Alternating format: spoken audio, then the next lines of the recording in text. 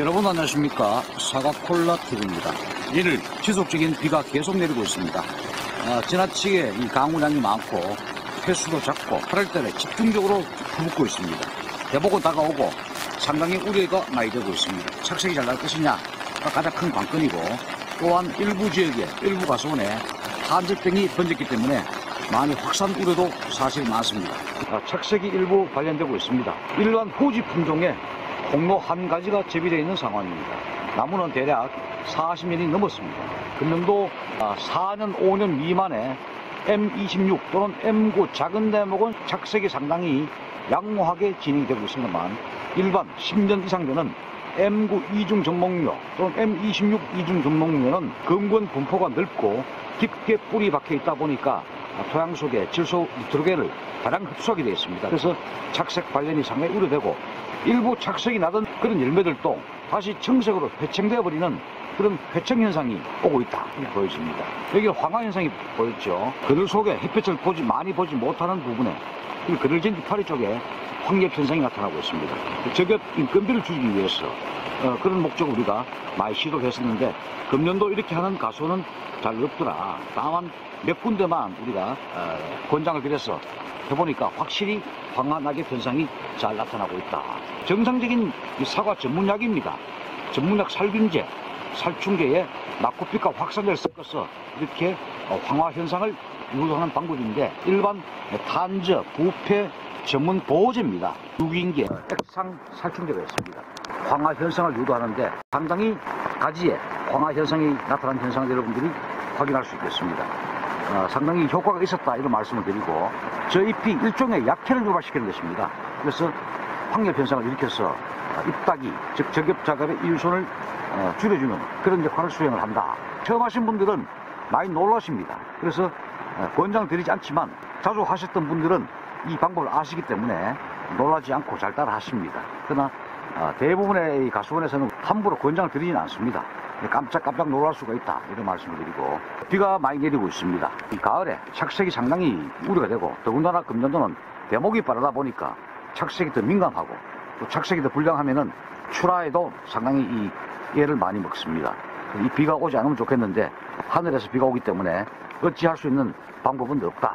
다만 평소에 미량 원소를 주기적으로 권양량대로 시비하신 가수원, 토양 시비한 가수원 또는 연민 시비한 가수원 또 수세 관리를 적당히 한 가수원에서는 그렇지 않는 가수원보다는 착색이 더 잘 날 것으로 제가 어, 예상을 하고 있습니다. 참 비가 오지 않았으면 좋겠는데 상당히 우려가 된다.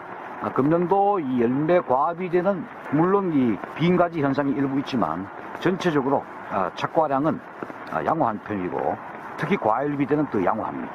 옛말에도 처서 이후에 이렇게 비가 자꾸 자주 내리면은 걷어들일 곡식이 없다 이런 말도 있습니다. 특히 대복이 빠른 해는 비가 오면 더 우려가 됩니다. 벼도 마찬가지고 아, 노지에서 재배되는 모든 농작물, 열매작물인 과수작물들, 뭐 사과나 배나 복숭아, 복숭아도 낙과가 많이 우려되고 현재 낙과도 많이 되고 있습니다. 사과는 탄저병이 일부 감염돼서 확산되고 있고 착색이 가장 관건이다 이런 생각이 듭니다. 그래서 아까도 말씀드렸지만 평소에 그러한 미량원소라든지 토양 시비, 연민 시비를 잘 수행하신 그런 가수원에서는 그래도 그렇게 하지 않는 가수원보다는 착색이 잘 발견될 것이다. 아마 다음 주부터는 여러분들이 본격적으로 이 비가 그치면은 도장지 제거 작업을 조속한 시일 내에 실시하거나 마무리를 하시기를 적극 권장드립니다. 가디와 질소 성분과는 기량성이 있습니다. 그래서 질소 성분이 나무 뿌리가 지속적으로 열매까지 이동하지 못하도록 반대 성물을 우리가 연민시비하거나 토양시비하는 목적이 있습니다. 그래서 금년도 이 비가 많이 왔기 때문에 뿌리가 토양 속에 있는 이 트루겐을 많이 흡수를 했다. 현장에서 할 수 있는 것은 수채 관리는 당연히 중요하고 미량원소인 가리의 토양 시비와 또는 연민시비 또는 착식에 그나마 다소나마 도움이 될 수 있는 천연 제품 그런 안토시안 제품들 우리가 권장드리고 있다. 그래서 아무것도 하지 않는 것보다가 또는 자연적으로 모든 게 다 로드맵을 따라서 이루어지면 좋겠지만 그렇지 못한 것이 우리 농업입니다.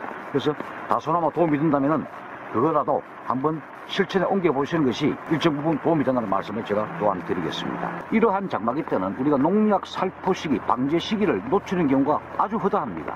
길게는 25일간 어, 방제를 하지 못하는 가원도 계시고 어, 짧게는 보름 이상 방제를 하지 못하는 가수는 계시는데 그때 우리가 병해충이 많이 이 번지고 특히 병해가 많이 감염되고 확산됩니다. 아울러서 어, 미세곤충인 응애가 그 비 오는 와중에 이 뒷면에서 성충이 되고 다시 교미를 해서 산란해서 개체수가 폭발적으로 증가할 수가 있고 이럴 때는 잠깐 날이 개이고 햇빛이 보인다면 기습 살포가 필요합니다. 내가 새통을 치고 비가 오더라도 새통을 치셔야 됩니다. 물론 안전에 유의하시면서 그런 기습 방제, 기습 살포를 꼭 하시는 것이 더 유리하다. 이런 말씀을 꼭 드리겠습니다. 이 비가 그치고 난 다음에 여러분들이 정규 살포를 하셔야 되는데 어, 그때는 치료제 및 보호제를 같이 혼용하셔가지고 종합 방제를 하셔야 되겠습니다. 원래 43년 차로 제가 알고 있습니다. 후지가 소인데 이렇게 이 나무를 들내지 않고 접을 붙여서 어, 품종신을 시도했는 그런 가수여야 되겠습니다. 쭉 보시면은 이 뿌리의 힘이 강하다 보니까 아, 뿌리의 힘을 억제시키기 위해서 또는 지상부의 예, 탄수화물 축적시키는 목적으로 이렇게 환상박피를 했는 모습을 볼 수가 있고 나무는 아주 건강하게 관리가 되고 있습니다. 42년, 43년 전에 직결하시고 한 주도 비내는 것 없이 그대로 관리가 되고 있는 상당히 우수한 사례의 가수가 되겠습니다. 비가 내리는 가수원에서 사과 콜라 TV였습니다.